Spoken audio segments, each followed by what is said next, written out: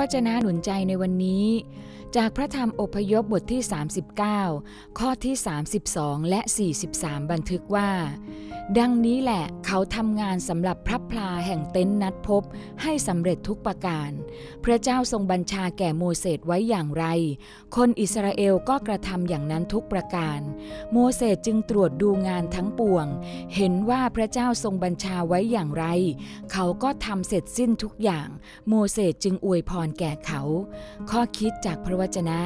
ความสำเร็จในงานของพระเจ้า 1. มาจากการเชื่อฟังพระองค์ทุกประการ ทั้งเชื่อฟังพระวจนะและเชื่อฟังผู้รับใช้ของพระองค์ 2. มาจากการลงมือปฏิบัติลงมือทำงาน 3. มาจากความละเอียดรอบคอบในการทำงาน การตรวจงาน การพิจารณางาน และการประเมินงาน